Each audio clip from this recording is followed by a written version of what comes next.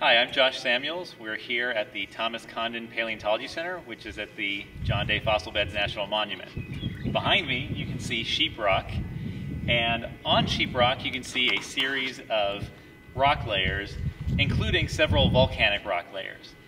The most important of these, going right across the middle of the hill, it's nice and brown, is what's called the picture gorge ignimbrite. And that layer has a radiometric date, and it's actually dated at 28.7 million years old. Now, looking at sheeprock, the importance of that layer is it's a nice boundary that can allow us to get an age for things above and below.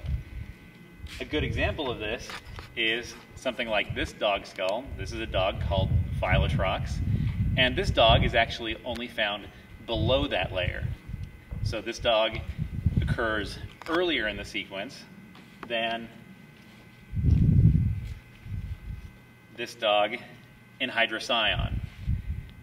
And their relative position tells us their relative ages, and we can actually get an absolute age based upon that radiometric date.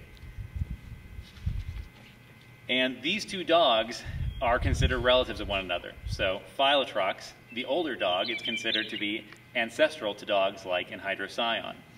So their position both relative and absolute, allows us to date these and get a better idea of how these dogs evolved.